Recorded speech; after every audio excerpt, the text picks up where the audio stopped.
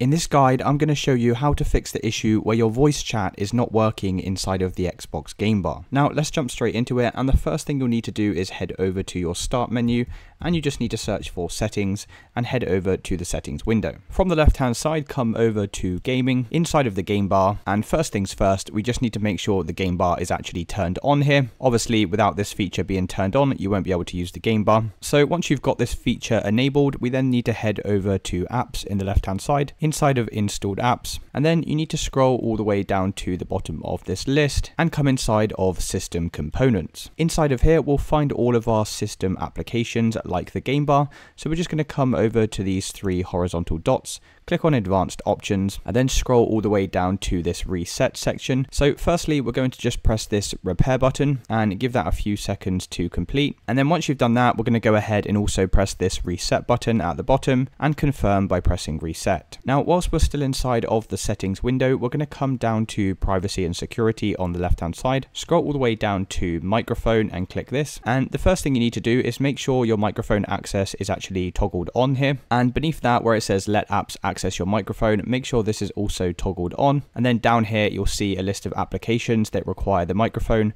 Once again, just make sure the game bar is turned on here. Once you've done that, we can then close out of this window and we can try launching up the game bar to see if that fixes the voice chat. If that still doesn't work, another thing that you can do here is come over to your start menu and just search for device manager and then head over to the device manager window. From here, we need to come over to audio inputs and outputs and expand this drop down. Then just locate your microphone from this list. I'm using this Yeti microphone at the top here. So we're just going to right click on this, come into update driver and then press search automatically for drivers. As you can see, I'm already running the latest drivers for my device and we can even go one step further here and press search for updated drivers on Windows Update. Then click this check for updates button and just install any pending updates that you have inside of here. Now this may require you to restart your computer, so go ahead and do that if it's asking you to restart. And then the last thing we're going to do here is come back over to our start menu, search for control panel, and then head over to the control panel icon. Make sure view by is set to large icons, then come over to sound,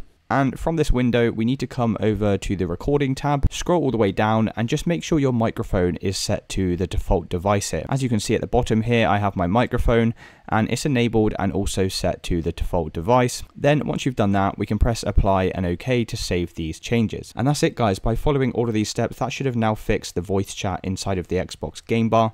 If this video did help you, then please consider dropping a like and subscribing and I'll see you in the next one.